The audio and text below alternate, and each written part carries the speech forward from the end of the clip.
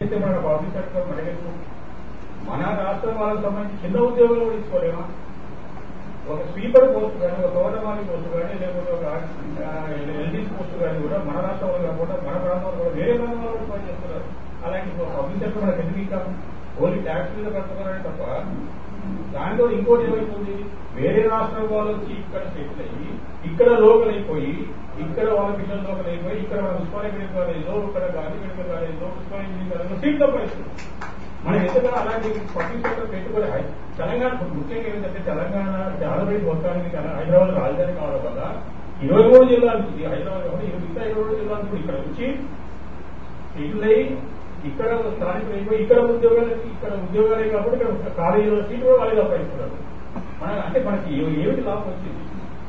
అంటే రాజధాని అయిపోయి నష్టపోతున్నామా లాభపడుతున్నామా? దానివల్ల ఏమైపోయింది? హైదరాబాద్ బాగా పెరిగిపోయి ఉన్న రోడ్లు వయసు విశాలం చేస్తున్నారు. విశాలం చేయడం ఏమైతుంది? మొదటి ఉన్నట్టు వాళ్ళ ఇల్లు పోతున్నాయి. కొత్త వచ్చిన వాళ్ళ గురించి రోడ్డు మీద చేసి ఉన్న వాళ్ళ ఇల్లు పా- వందేళ్ళ నుంచి ఉన్న వాళ్ళ ఇల్లు పోతున్నాయి. కొత్త వచ్చిన వాళ్ళ గురించి. అది అవసరమా ఇంకోటి. శ్రీకృష్ణ గారు చెప్పినట్టు ట్వంటీ పర్సెంట్ నాన్ లోకల్ అని పెట్టి ఎక్కడ ఓపెన్ కోట అనేది నాన్ లోకల్ పెట్టి అలాంటి వాళ్ళు పెన్షన్లు అన్నారు. పెన్షన్లే కాదు అలాంటి వాళ్ళు ఇప్పట్లో ఉద్యోగాలు ఉంటే కూడా వాళ్ళ ఉద్యోగాలు తీసేయాలి. ఎందుకు? మన ఎలక్ట్రిసిటీ బోర్డులో పన్నెండు వందల మంది దాకా వాళ్ళు ఆంధ్ర వాళ్ళు తెలంగాణలో పనిచేస్తున్నారు వాళ్ళు రిలీవ్ చేశారు. అలాగే ఎందుకు రిలీవ్ చేయకూడదు? వాళ్ళు ఎందుకు శాలరీస్ ఇవ్వాలి? వాళ్ళు రూల్స్ వ్యతిరేకంగా ఉద్యోగాలు చేయారు అలాంటి ఉద్యోగాలు చేయాలి కాబట్టి మన తెలంగాణ ప్రభుత్వం ఎందుకు భరించాలి? మొండి ప్రభుత్వం అంటున్నారు కదా. ఓటు చెప్పలేండి. ఇల్లీగల్గా ఉన్న వాళ్ళకు ఓటు ఎలా సమర్థిస్తుంది? ఓపెన్ కేటగిరీలో రిక్రూట్ కావాల్సిన వాళ్ళు నాలుగు అని చెప్పి రిక్రూట్ ఇద్దరు ఓటు ఎలా సమర్థిస్తుంది? ఈ కోర్టు హైకోర్టు సమర్థిస్తుందంటే వాళ్ళకి అక్కడ స్థానం బలం ఉంటే మన సుప్రీంకోర్టు కొట్టాడాలి కాదు రాష్ట్ర ప్రభుత్వం మన చేతిలో ఉంది. సుప్రీంకోర్టు ఎందుకు కొట్టాడకూడదు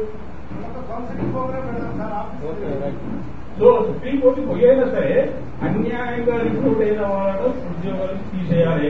లేదంటే వాళ్ళని తీసుకోవాలండి మనకే అభ్యంతరం లేదు. వాళ్ళు ఏం చేసుకుంటారో మనకే అవసరం. ఇల్లీగల్ రిక్రూట్ మీద అయిన వాళ్ళని సరెండర్ చేసేయాలి.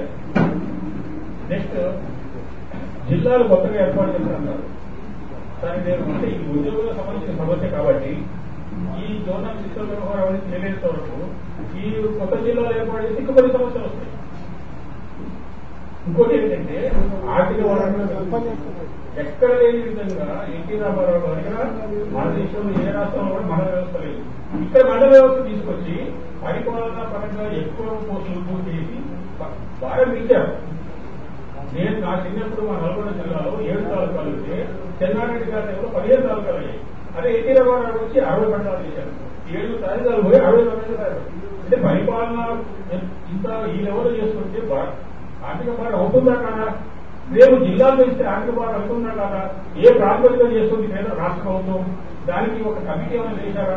అంటే రాష్ట్ర ప్రభుత్వం అనుకుంటే ఏమైనా చేస్తా దానికి ఒక నిపుణుల కమిటీ వేసి దాని ప్రకారం చేస్తే బాగుంటుంది నాకు ఆ బాధ్యం తీసుకుని ఎవరు పడుతుంది? అంటే ప్రజలకే పడుతుంది. ముఖ్యమంత్రి కట్టరు మంత్రులు కట్టరు ఎంపీలు కట్టరు. ప్రజలే కట్టాలి. అంటే ఎక్కడ లేని విధంగా ఈ పంట వ్యవస్థ వల్ల మన రాష్ట్ర ప్రభుత్వం మీద ఓకే ఆంధ్రప్రదేశ్ రాష్ట్ర ప్రభుత్వం మీద కూడా ఉద్యోగుల జీతం వర్గాలు ఎక్కువైపోయాయి ఉద్యోగం అంటే దానివల్ల ఉద్యోగాలు పెరుగుతాయి అయితే అలాగే ఇంకా అరవై మండలాలు నలభై జిల్లాలు నూరు ఇరవై మండలాలు చేస్తూ ఉద్యోగాలు పెరగాలంటే అవసరమా? ఏ లెవెల్లో అవసరం అనేది ఒక స్టడీ చేసి దాని ప్రకారం చేస్తే బాగుంటుంది నా ఉద్దేశం.